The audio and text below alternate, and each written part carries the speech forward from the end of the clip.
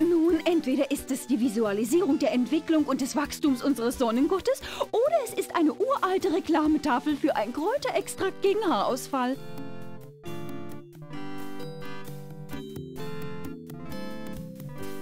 Es geht auf jeden Fall um Haare. Kahlköpfige Yetis? Ugh. Bruno bestellt schöne Grüße. Das ist nett, Darling. Was hältst du von Trixie? Zärtliche Stimme für so ein deformiertes Mädchen. Conroy Bumpers steckt in der Tiefkühlkammer. Gut. Ich muss gehen. Fühl dich wie zu Hause. Gut, wir können doch die anderen Yetis fragen. Ahem. Ja? Was bedeutet deiner wahnwitzigen Meinung nach der erste Totempfahl? Nun, der große Sturm stellt das große Chaos dar, das unsere außerirdischen Brüder bei ihrer Ankunft veranstalten.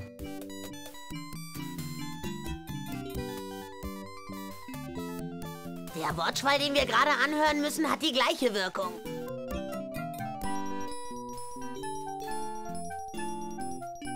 Irgendwelche neuen Erkenntnisse über den dentalen Totem? Die Wahrheit des Zahns entzieht sich mir, aber die Außerirdischen werden ihre Gründe haben.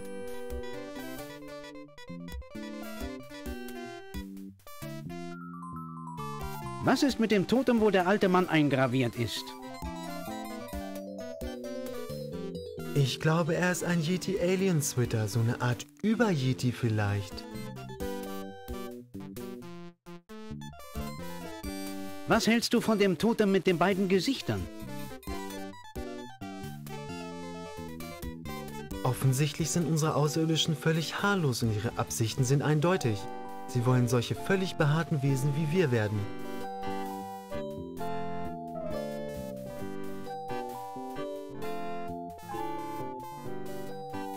Hey, ich bin perfekt und ich wusste es nicht einmal. Gerade jetzt bist du nur fusselig. Sam, er beleidigt mich. Tu was. Erschieß ihn. Bruno ist draußen beim Pool. Wunderbar, er muss die Stammesväter der Außerirdischen überredet haben, uns von diesem verdammten Planeten zu holen.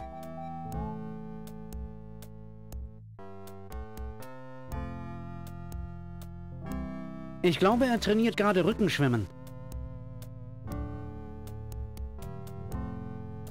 Hat Trixie irgendwelche Neuigkeiten von den Außerirdischen mitgebracht? Nicht so direkt, aber sie haben ihr offenbar Gesangsstunden erteilt.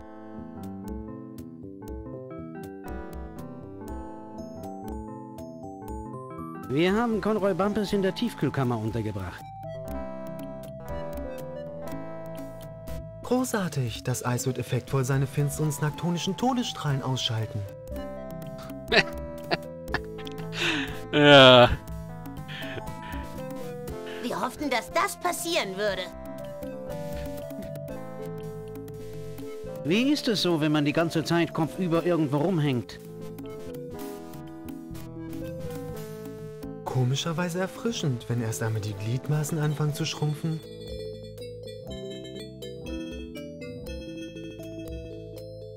Du bist der dünnste Yeti, den ich je gesehen habe. Ich faste vorsichtshalber für den Tag, an dem die Außerirdischen uns erretten werden. ja, das kennen wir ja alles schon. Ich muss gehen.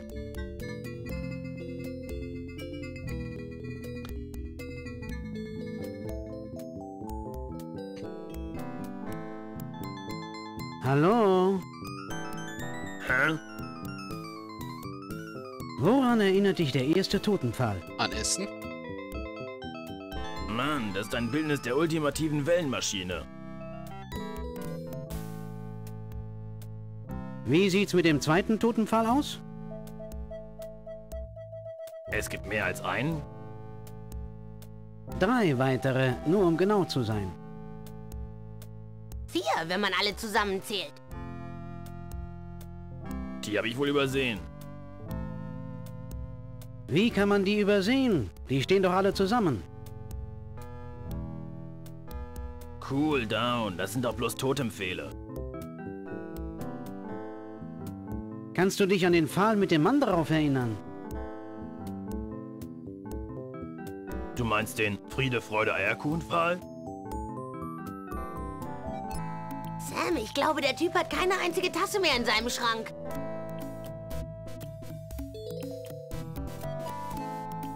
Gehe ich recht in der Annahme, dass du nichts über den vierten Totenpfahl hören möchtest? Sprichst du noch mit mir? Wer ist der Präsident der Vereinigten Staaten von Amerika? Oh, das wird interessant. Ich dachte, die gibt es gar nicht mehr. Ja, ich glaube, wir sind fertig hier. Das ist er auch. Bruno steht draußen beim Pool. Das trifft sich gut. Ich werde gleich mit ihm sprechen, sobald ich fertig bin mit Essen.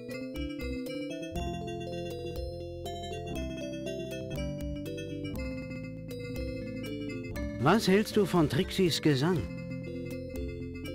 Er ist Sirenengleich. Was macht ihr Jungs mit Conroy und Lee Harvey? Eis am Stiel, Mann. Riesiges Eis am Stiel. Ich muss gehen. Schon in Ordnung, Mann.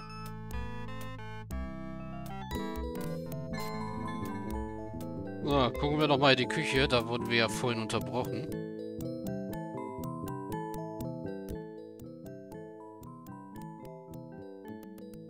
Das ist ein großer Gefrierschrank.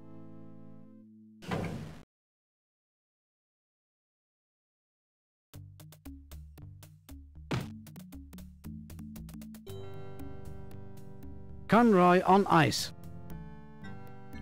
Lass sie uns zurückstellen, bevor sie schmelzen, Max. Ja, lieber Eine wieder gute rein damit. Idee. Ich finde, sie sind ein exzellentes Stillleben. Gut.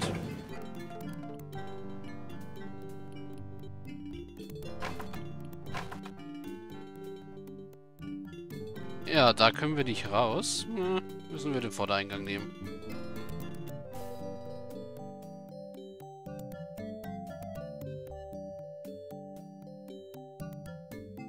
Ich möchte raus. Danke.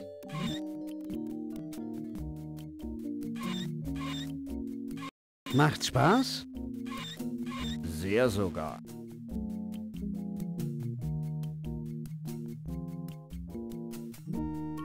Miss Morrison?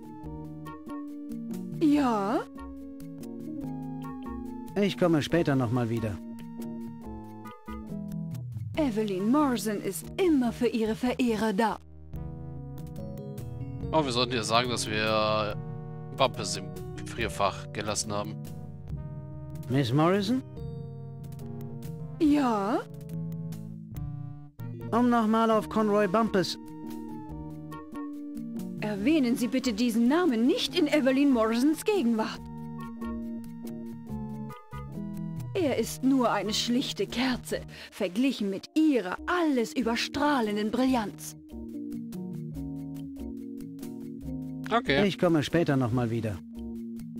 Dann bleibt er halt im Gefrierfach. Evelyn Morrison ist immer für ihre Verehrer da.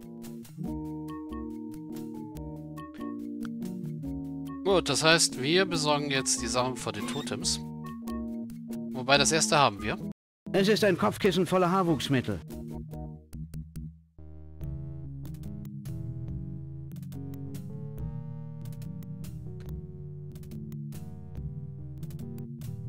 Ist nämlich das vierte Totem mit dem Vorher-Nachher-Bild, mit dem Haar Haarwuchsmittel. So, besorgen wir das zweite. Der Schutzheilige der Yetis in Gemüse, nämlich. Da kommt nur einer in Frage. Wo ist mein John Muir Gemüse? Hier hast du es, mein Sohn. Eine Zucchini, die wie John Mew aussieht. Hey, danke, Ma'am. Danke, das war's. So, wir haben John Muir.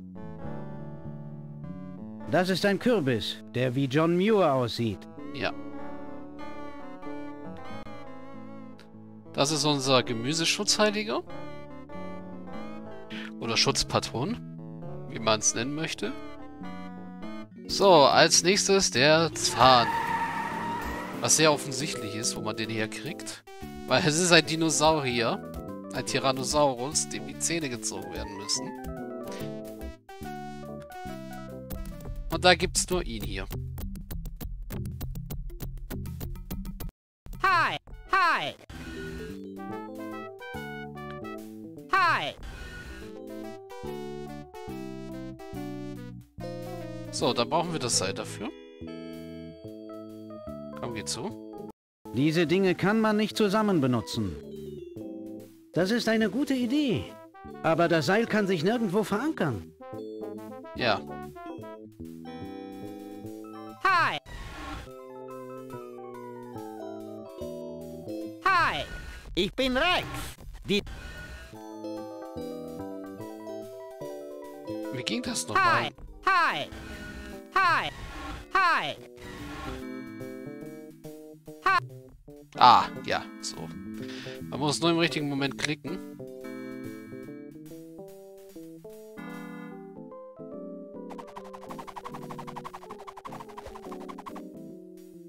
So, und dann haben wir unseren Zahn auch fast schon.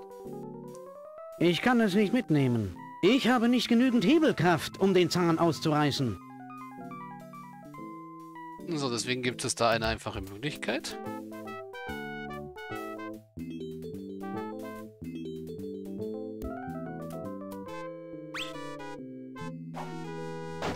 Nämlich die. Und Max war so nett, es schon anzubringen. Blatsch. Zum Schluss haben wir bekommen, was wir wollten. Blaue Flecken? Den Zahn. Ja. Ein künstlicher, sehr echt... Äh.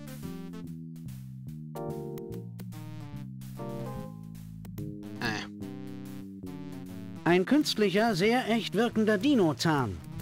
So, das ist schon mal unsere dritte Sache, nämlich der Zahn vom zweiten Totem.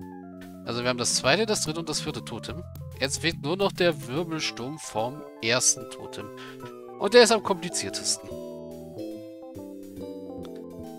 Während wir für den dritten und vierten einfach nur Zeug abholen mussten, nämlich einmal unser John Muir Gemüse und das Kissen in Bumpersville, da drüben, ähm, ist der handliche Wirbel etwas komplizierter. Dafür müssen wir erst einmal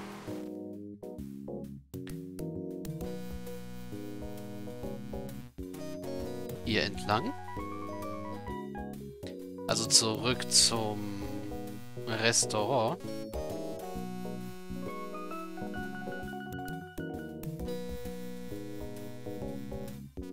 Leg einen Zahn zu, Max.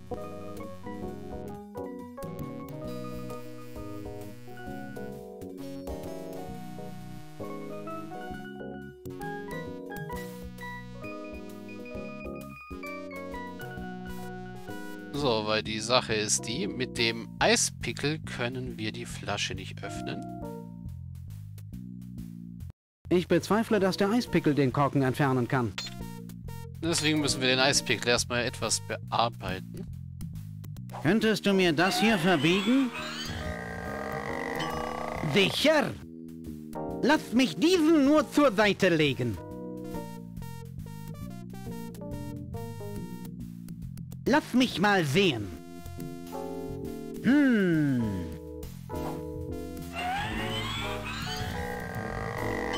Wie ist das? Großartig. So, jetzt haben wir... Das ist ein fürchterlich verbogener Eispickel. Genau, einen Eispickelkorken. Dieses Ding hat den Korken ziehen können. Sollen wir einen Toast auf die nukleare Abrüstung aussprechen? Mit diesem Gift? Sei nicht albern. So. Ein Korken. Es ist eine leere Schneekugel ohne Plöppel. Das scheint die Schneekugel verschlossen zu haben. Ja, jetzt haben wir eine leere Schneekugel mit Plöppel. Es ist eine leere Schneekugel mit einem Korken. So, jetzt müssen wir die nur noch füllen.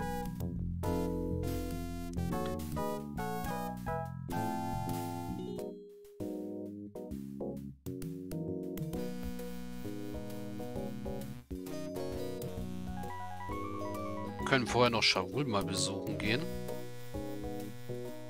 Die Größe von Bruno ausrichten.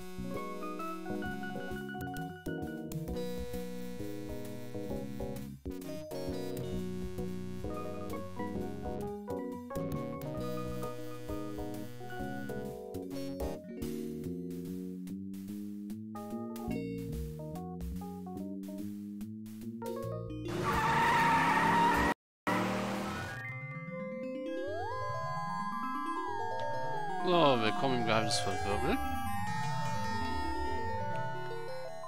So, Shavul war hinter der orangenen Tür.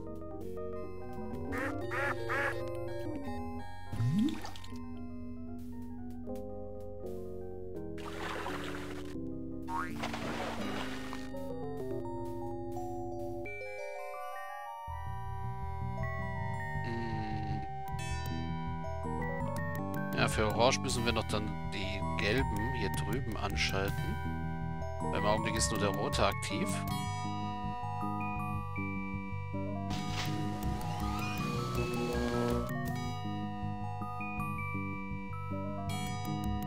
Also ja, das hier soll orange sein, auch wenn es noch recht gelb aussieht.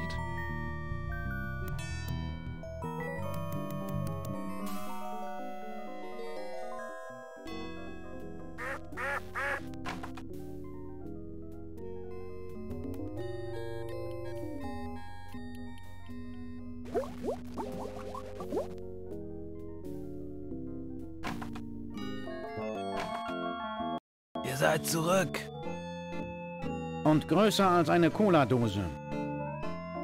Sogar drei Cola-Dosen. Was wollt ihr denn jetzt? Kannst du das über die Yetis nochmal wiederholen? Aber sicher. Bla bla bla bla bla bla bla.